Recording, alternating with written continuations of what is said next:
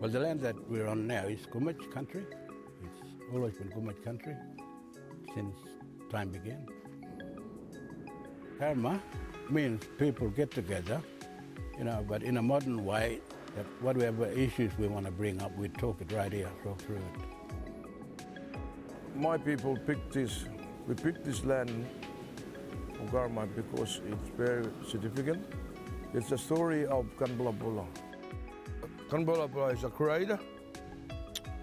Created, we created the land here all the way to the mine site and around the surroundings.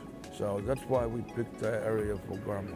We roamed all over here and, and created and named the places around here.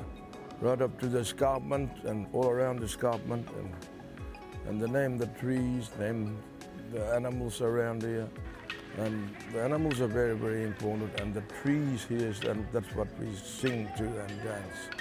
And it's very important that we, we pick this area. Our culture is being given to to the uh, indigenous people, and it's you know we share cult- cultures that it belongs to the land. Future holds everything for the next generation, I guess. And here we put everything in place that the uh, the people like me and my and my brothers and sisters and family, and we leave something here. We look to the future but it is the future for their children.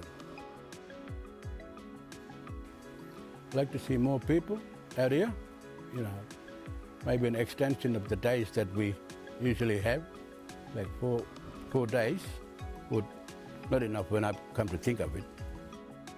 You know, usually at the end we say, you've been here for the last couple of days, take back what you have learned from us. That's always what we say at the end.